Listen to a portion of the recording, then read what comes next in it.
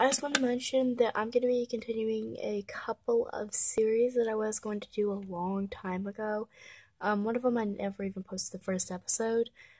Um, and the second one, um, I did post the first episode, but I had to change the characters in both um, series.